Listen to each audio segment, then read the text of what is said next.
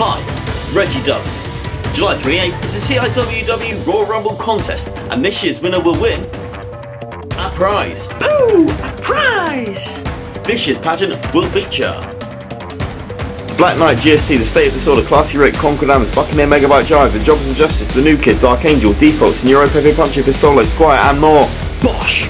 July 28th, we'll see you at the Merton Hotel. Buy yourself some tickets, and your friends, and your family, and Paul, and Susan, and Peter, and Clive. Maybe not Clive, but anyone, bring them along, except Clive.